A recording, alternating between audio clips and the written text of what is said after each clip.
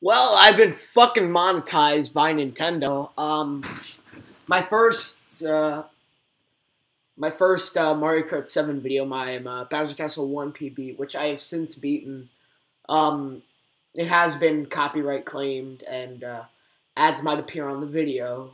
Um, as you can see here, copyrighted content was found in my video. Oh, and look, Nintendo, good fucking job dude, I don't make money off of this, so like, please, don't. Nintendo, I love you, but like, I make no money off of this. This is purely a hobby. I have. Yeah, I don't make money off of this. I don't really do anything with it. But like, you really had to fucking uh, copyright me. That's wonderful. Good job. Good fucking job. Um. Uh, yeah, um, I think that's why uh, some ads were on the video. It might be on the video at least.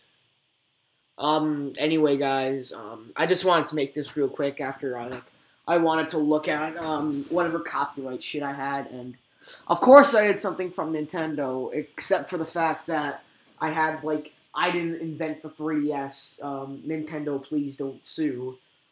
And I fucking monetization, even though I don't get money from it. So that's wonderful. It's fucking amazing.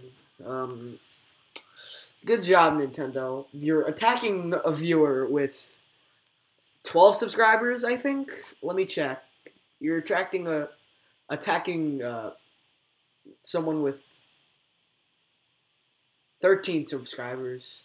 And they're probably going to copyright them uh, most of my other videos. Um, yeah, my Mario Circuit 2 PB. Um, I bet most of my Pokemon Red PBs.